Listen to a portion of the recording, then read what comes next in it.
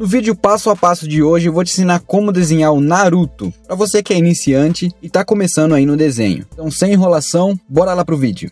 Manito, você vai começar fazendo o seguinte: a gente vai fazer a base do nosso desenho, que é o que vai formar o rosto do personagem, vai ajudar a gente a fazer cada parte do personagem certinha. Então começa fazendo esse círculo aí, um tamanho médio para grande, porque se você fizer pequeno vai ficar difícil você desenhar aí dentro.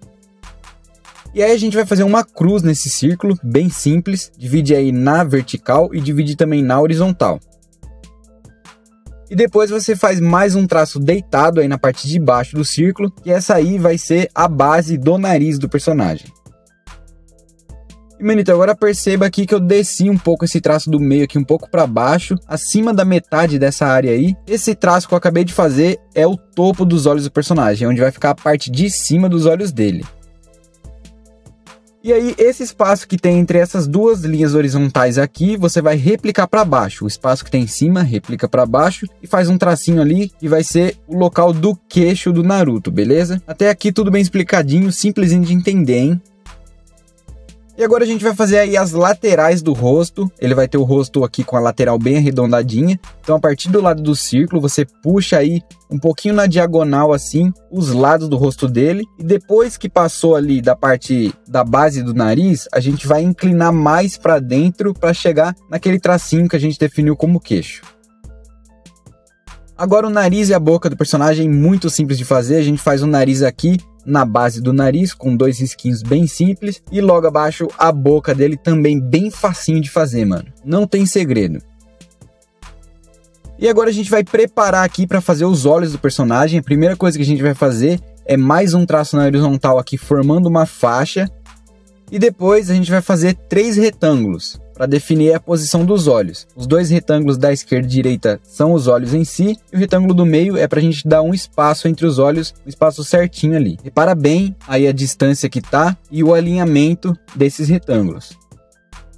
Bom, os olhos a gente faz nesse formato simples aqui, não tem segredo também, é uma parte bem fácil. Os olhos do Naruto são bem simples de fazer. Lembrando que você pode pausar esse vídeo aqui para você olhar a imagem referência aqui em cima certinho. Então não tem pressa de fazer. E se errar também, passa uma borracha aí devagarzinho e corrige, não tem problema errar. Basicamente o olho dele a gente faz aí a parte de cima com esse formatinho mais arredondadinho, com um biquinho na ponta, e a parte de baixo um pouquinho mais fina que a parte de cima. Só complementando ali basicamente com quase o mesmo formato. E manito, se você ainda não é inscrito aqui no canal, desce aqui embaixo e se inscreva, porque toda semana a gente tem aí técnicas de desenho e videoaulas de personagens de anime. Então não vai querer perder, hein?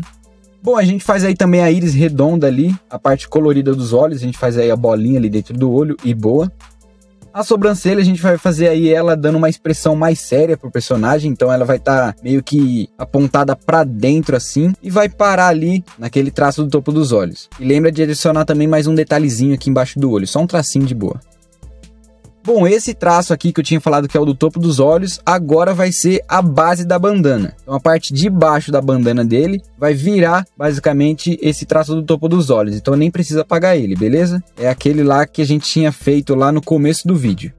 Bom, as orelhas dele é bem simples de fazer também, tem mais ou menos aí o tamanho que vai ali do nariz até o traço do topo dos olhos, que agora é o da bandana. É só deixar aí nesse tamanho que eu deixei aqui, do nariz até a parte de cima do olho, e fazer esse formatinho simples, que basicamente é o mesmo formato de todo personagem de anime. E depois só desenhar um labirintinho bem simples ali por dentro e já era. Agora, aqui entre o olho e a orelha, a gente vai fazer o pé do cabelo dele, dos dois lados a gente vai fazer o pé do cabelo, que vai ficar entre os olhos e as orelhas. Bem simples de fazer, um formato meio que triangularzinho assim para baixo e já era. Tranquilo.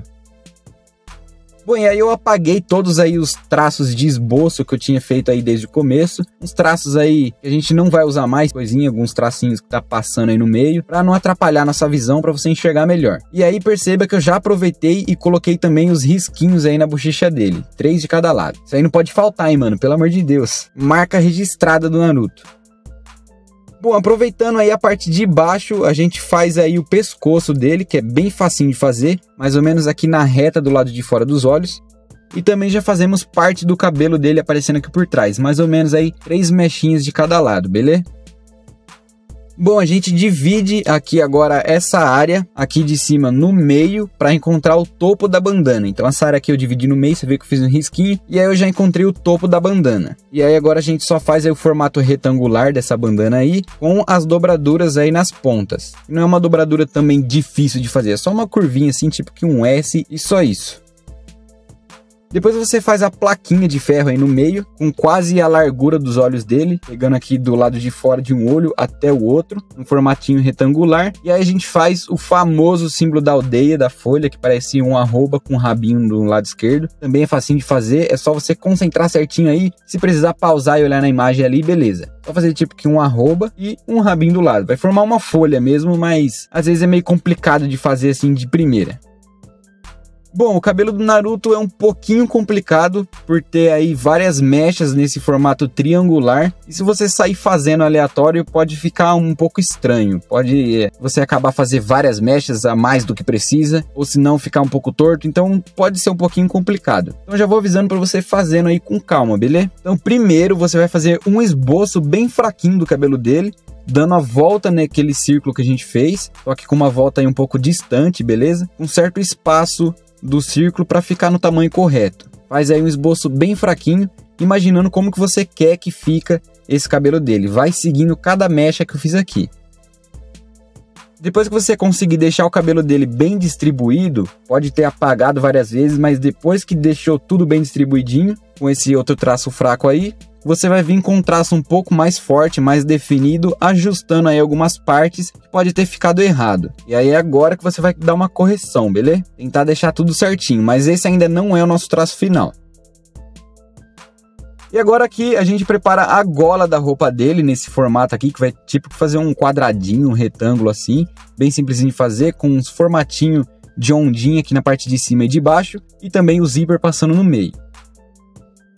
E a gente já faz aqui parte dos ombros dele, na esquerda e na direita. E lembra de fazer o detalhe da faixa dele passando aqui por trás dos ombros, beleza? E manito, para finalizar os seus traços é só você pegar uma caneta preta eu uso uma caneta nanquim, mas você pode usar uma caneta Bic normal. E aí você pega essa caneta preta e passa por cima do seu traço. E depois é só passar a borracha por cima e boa, o seu desenho já vai estar tá finalizado. Qualquer dúvida, deixa aqui nos comentários, beleza? Tô sempre respondendo a galera. Bem, manitos, essa foi o vídeo de aula de hoje e eu espero que você tenha gostado. Assista também a esses vídeos que eu deixei aqui na sua tela. Obrigado a você que assistiu até aqui, um abraço e até a próxima.